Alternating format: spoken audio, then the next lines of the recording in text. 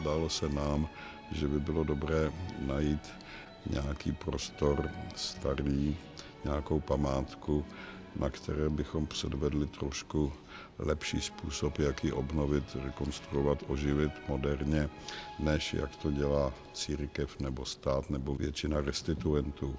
Chtěli jsme nějakou kapličku najít schátralou, kterou obnovíme, oživíme. Nakonec z toho, vznik, z toho vzešel tento velký krásný prostor, zcela zapomenutý, o němž málo kdo věděl, že vůbec existuje. Objevili jsme tento veliký chrám, kde jezdil nákladní výtah a byl rozdělen na čtyři patra. Byl tady sklad obuvy a Schenfeldova tiskárna a já nevím, co všecko za to období historie, které sahá až do doby svatého Václava, tady bylo umístěno. Ten chrám je 200 let odsvěcen a byl ušetřen úplného zdevastování za husických válek pouze tím, že abatyší přilehlého kláštera u toho kostela byla teta Jana Žižky Strocnova, která byla velikou metrnicí a Žižka se jí tak bál, že tento kostel nenapadl, proto se můžeme chlubit naprosto zachovaným krovem. Je to unikát a můžeme se chlubit krásnými freskami, které eh, obnovujeme. Byl to teda úkol veliký, největší asi, kterého se naše nadace Vize 97 ujala, ale zatím mám ten dojem, že se to dílo daří, máme to na 100 let pronajato a už to je vyhledávaný prostor, dějí se tu nejrůznější věci, nekomerční i komerční. Stálo to hodně peněz a ještě bude stát a různým způsobem ty peníze naše nadace na to zhání.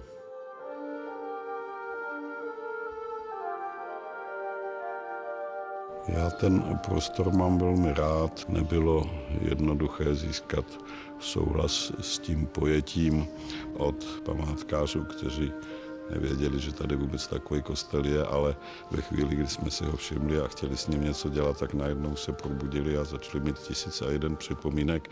Nicméně nakonec jsme se zhodli a zdá se mi to řešení velmi dobré, protože ta stará klenba hm, opravdu středověká, což je docela vzácnost. Myslím především tu střechu, že ta hm, je vlastně velmi unikátní věc a je pěkné, že je vidět, že to je průhled. Tady byl v posledních dvou nebo třech staletích, to bylo zastropené a takhle je odhalen celý prostor toho. Ty fresky jsou krásné, pokaždé, když sem přijdu, tak se divím, že nová další freska pěkná byla zrestaurována. Já mám k tomuhle místu velice hluboký a niterný vztah.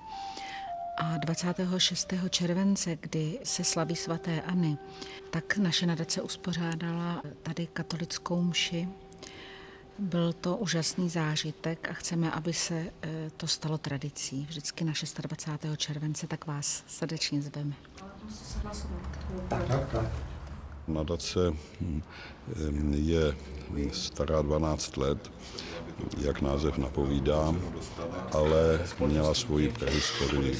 Já jsem předtím měl takovou nadaci, která byla zaměřena na Pražský hrad a starala se o několik projektů či staveb.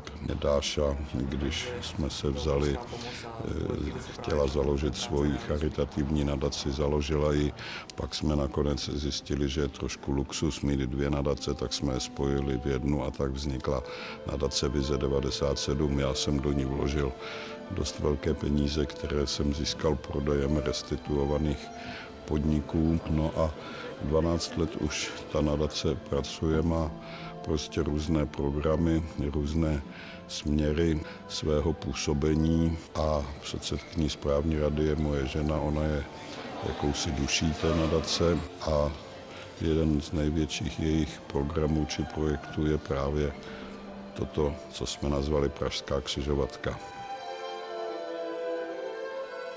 Naše nadace se zabývá prevencí kolorektálního karcinomu, protože můj tatínek na důsledky tohoto onemocnění zemřel před 11 lety a Česká republika byla na čelních místech ve výskytu a v umrtnosti.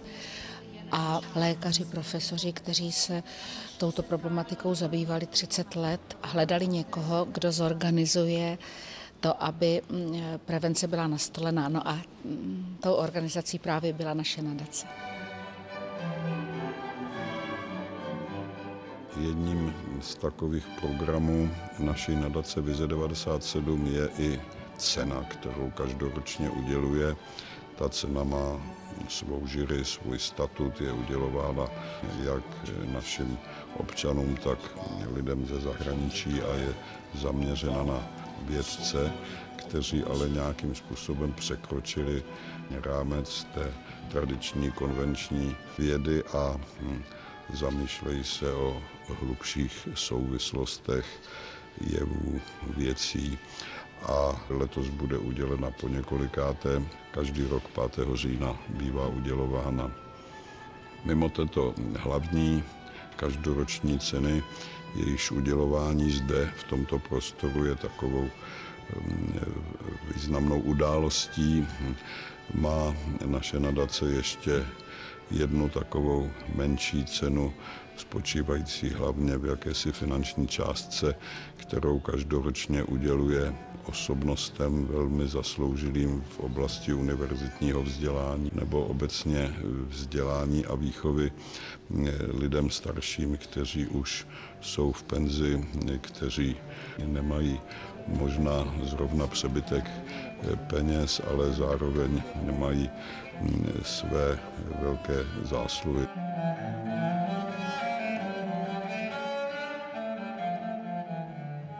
Naše nadace podporuje talentované studenty na zahraničních stážích formou stipendií a ty vybírá tým profesionálů, špičkových odborníků.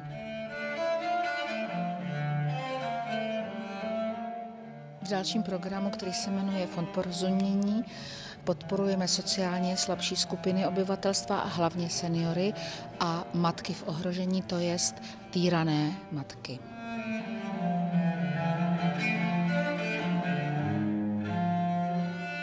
V tomto krásném prostoru se odehrává nejenom předávání ceny nadace, ale odehrává se tu spoustu kulturních i společenských akcí. Byl tu krásný koncert Magdaleny Kožené, teď tady bude zpívat Iva Bytová při zahájení festivalu Struny podzimu. No a někdy je tu pěkně veselo. To když 5. prosince na Mikuláše se sejde 10 charitativních organizací, prodávají svoje výrobky nebo výrobky svých chráněnců a finanční prostředky potom jdou na charitativní účely.